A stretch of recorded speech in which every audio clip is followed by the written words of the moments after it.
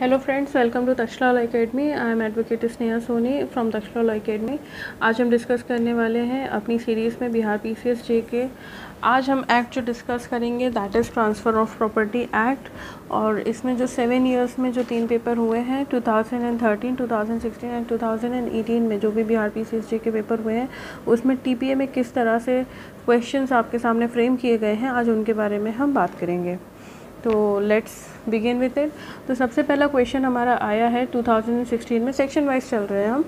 तो section two से हमारा पहला क्वेश्चन बना था और ये था 2016 का क्वेश्चन था।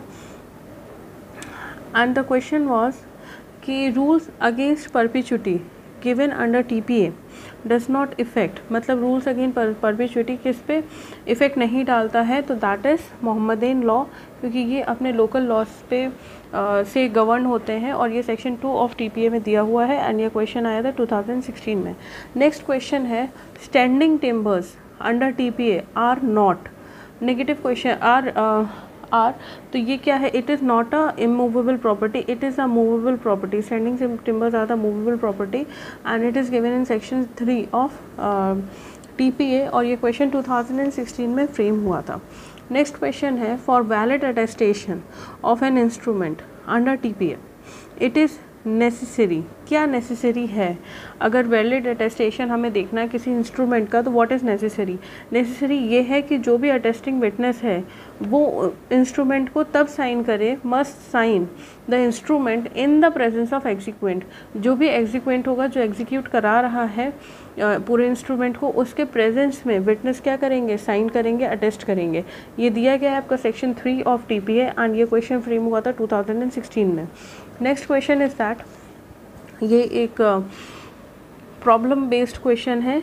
A has a wife B and C A की एक वाइफ है बी उसका एक बच्चा है सी बेटा। Then C in consideration of rupees five lakhs paid to him by his mother उसकी मदर ने क्या किया? पाँच लाख रुपए सी को दिए।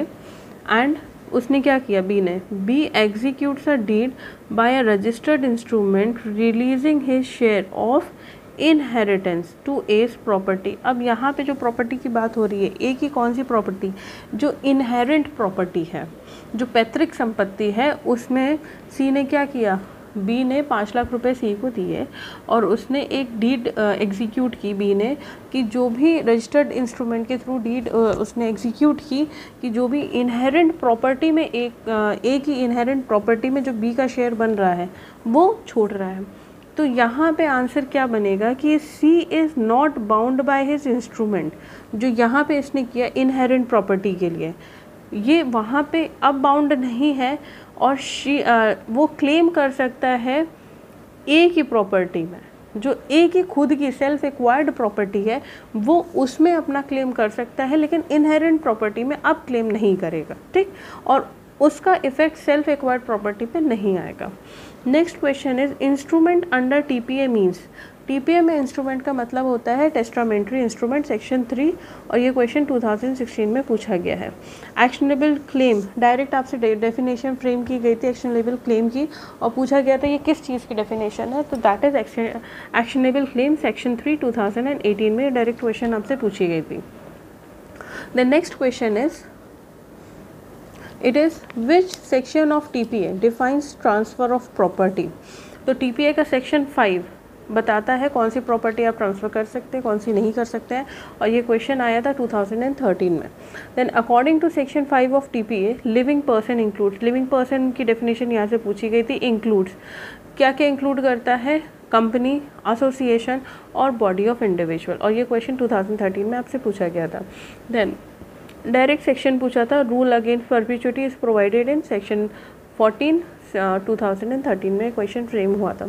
Next question is related to this only rule against perpetuity यहाँ पे आपसे डायरेक्ट रूल ऑफ़ परपिचुटी का पूरा आपसे डेफिनेशन देके पूछा गया था कि ये कौन सा डॉक्ट्राइन है या कौन सा रूल है। तो no transfer of property can operate to create an interest which is to take effect after the lifetime of one or more person living at the date of such transfer तो ये क्या है? Rule of against perpetuity है।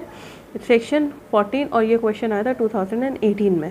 Next question हमारा 2018 में आया था the vested interest in the property depends on the happening of an event which is bound to happen vested interest तभी बनता है जब जो प्रोबेबिलिटी है हैपनिंग ऑफ़ इवेंट है, वो होगा। That is bound to happen ये है सेक्शन 19 और ये क्वेश्चन 2018 में आपसे पूछा गया था। नेक्स्ट क्वेश्चन आया था 2013 में। सेक्शन 20 से बना था कि an unborn person acquires vested interest on property कब एक अनबॉर्न पर्सन वेस्टेड इंटरेस्ट अपना एक्वायर कर लेता है किसी भी प्रॉपर्टी में, जिस दिन उसका बर्थ होता है, जैसे ही उसका बर्थ होता है, उसी टाइम से उसका एक वेस्टेड इंटरेस्ट एक्वायर हो जाता है किसी प्रॉपर्टी में। Next question is that A transfers property to B for life A ने क्या किया बी को ट्रांसफ़र की प्रॉपर्टी लाइफ के लिए। And after his that death to C and D अब एक्चुअली डी में एक रूल है कि there should be two living person के बीच में ही ट्रांसफ़र हो सकती है property there should be a owner of the property always तो equally to be divided between them और to the survivor of them C dies during the life of B B survives D survives B at B's death the property अब B की अगर death हो जाती है तो property कहाँ चली जाएगी? पासिस टू बी सेक्शन 24 और ये डायरेक्ट इलस्ट्रेशन से क्वेश्चन पूछा गया। सेक्शन 24 का इलस्ट्रेशन है ये। एंड ये क्वेश्चन 2018 में पूछा गया था। 2018 में डायरेक्ट क्वेश्चन पुट किए गए थे from TPA next question is direct आपसे सेक्शन पूछा गया था कि provision based on the doctrine of association under TPA तो इट वाज सेक्शन 27 2016 में ये क्वेश्चन पूछा गया था। नेक्स्ट क्वेश्चन इज़ 2018 में ये क्वेश्चन पूछा गया था कि doctrine of election under English law and Indian law किस टाइप का है? तो it is a common law क्योंकि ये डराइव हुआ है from the rule of equity तो ये रूल ऑफ़ इक्विटी से जब डॉक्ट्राइन ऑफ़ इलेक्शन हमारा डराइव हुआ है तो it is a common law next question is that from 2018 से ही आया है कि no man can transfer better title in property then what he himself got ये इसका एक्सेप्शन पूछा गया था कि किस प्रोविज़न में इसका एक्सेप्शन दिया गया इस जनरल रूल का। तो प्रोविज़न 41 एंड 43 ऑफ़ टी टीपीए में इसका, ये जो प्रिंसिपल है, इसका एक्सेप्शन है। Then section 48, 78, 79 of TPA provides the example of right of priority और ये क्वेश्चन 2018 में पुट किया गया था। Next question is the principle of lis pendens pertains to public utility किस लिए प्रिंसिपल uh, बनाया जाता है? फॉर पब्लिक यूटिलिटी सेक्शन 52 से ये क्वेश्चन आपका दो बार आया है 2018 में और 13 में भी आया लिस्पेंडेंस से काफ़ी क्वेश्चन पुट किए जाते हैं। नेक्स्ट क्वेश्चन इज़ दैट कि A makes a gift to land of land to B A ने क्या किया? गिफ्ट किया लैंड बी को. C sues A for the possession of land C ने क्या किया? ए को सू कर दिया for the possession of land while the suit is pending अब क्या है? सू कर दिया है तो suit is pending in the civil court B transfers the land to D क्योंकि बी को तो गिफ्ट मिला था तो बी ने क्या किया? ट्रांसफ़र कर दिया डी को. A died and C obtains a decree for the possession against B as legal representative of A क्योंकि इसको मिली थी प्रॉपर्टी तो ये क्या बन गया? ए का लीगल रिप्रेजेंटेटिव बन गया और जो सी को डिग्री ऑप्टेन हुई है पोजेशन के लिए तो किसके अगेंस्ट आई? बी के against I. Is D's title affected by rule of lis pendens so as to subject of C's decree अब यहाँ पे पूछ रहा है कि जो डी का टाइटल है ओके okay, जो डी का टाइटल है क्योंकि बी ने क्या किया था? डी को ट्रांसफ़र कर दी थी लैंड तो जो बी का डी का जो टाइटल है क्या वो रूल ऑफ़ लिस्पेंडेंस के सब्जेक्ट होगा जो सी की डिग्री मिली है? तो नहीं. क्यों क्यों नहीं होगा? क्योंकि because B was not the party to the suit at the time of transfer by B to D क्योंकि वो सूट में था ही नहीं. और ये बोलता है सेक्शन 52 और ये क्वेश्चन आया था 2016 में and it is a direct question next question is the term sale in T P A direct आपसे सेक्शन पूछा गया था सेक्शन 54 इन 2013 देन हैंडिंग ओवर पोजेशन अच्छा एक चीज़ और which is very important that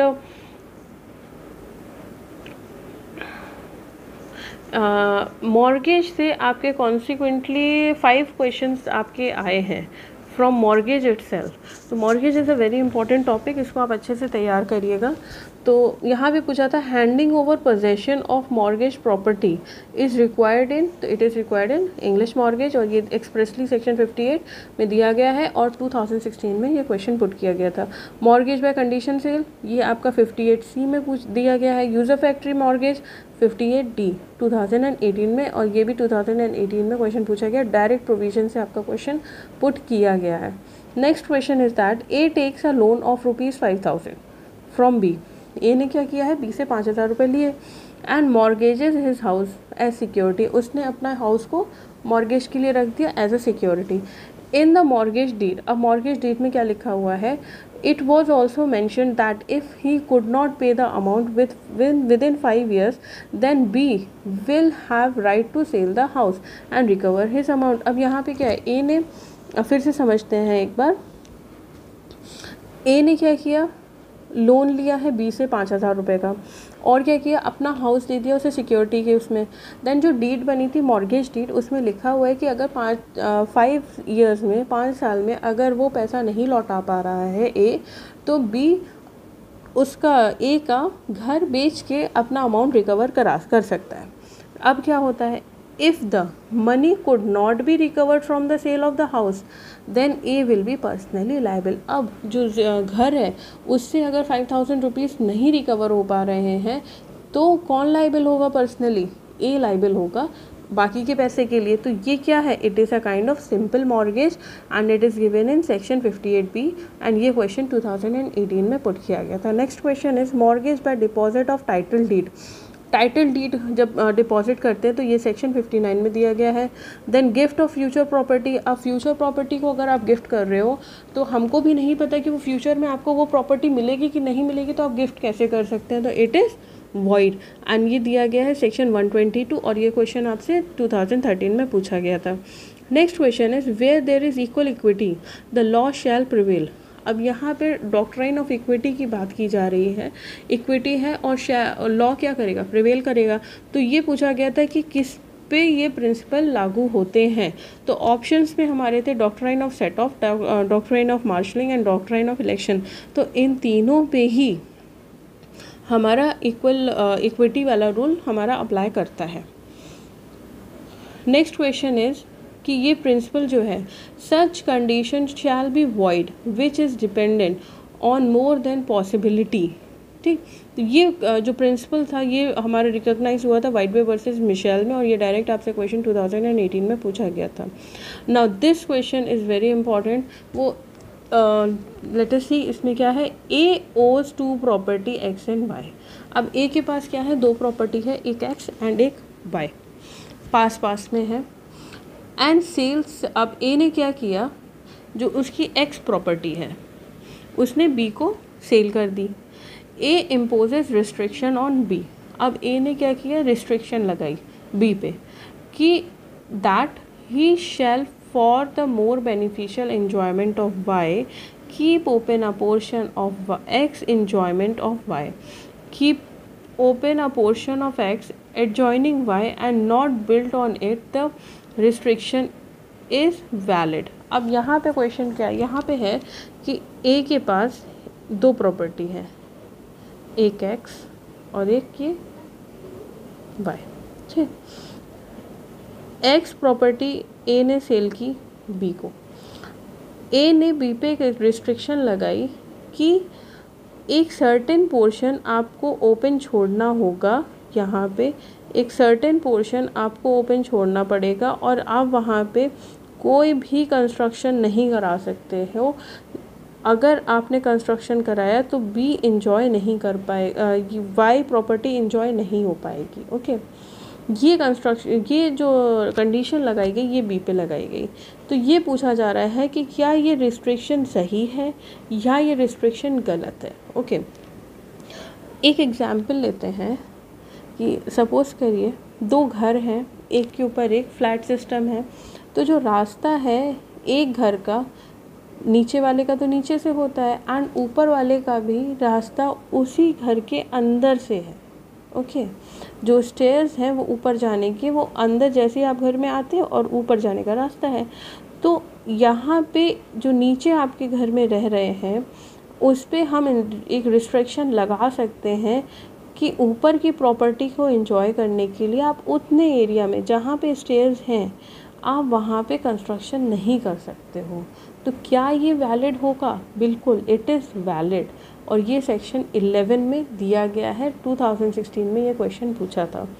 Then next question is T P A came in force कब इन्फोर्स हुआ था? फ़र्स्ट जुलाई 1882 2013 में क्वेश्चन पूछा था। नेक्स्ट क्वेश्चन इज़ कि इन केस ऑफ़ गिफ्ट अगर गिफ्ट दे रहे हैं एंड इफ़ डोनी ये एक और आएगा। And if donee dies donee जो गिफ्ट दे रहा है, वो क्या हो गया? उसकी डेथ हो गई है।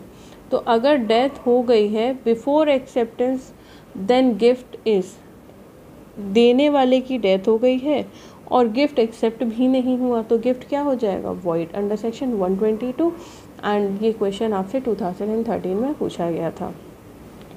Then do let know what you think about this and comment in the comment box कि आप आगे क्या देखना चाहते हैं, किस तरह का और आप वीडियो देखना चाहते हैं।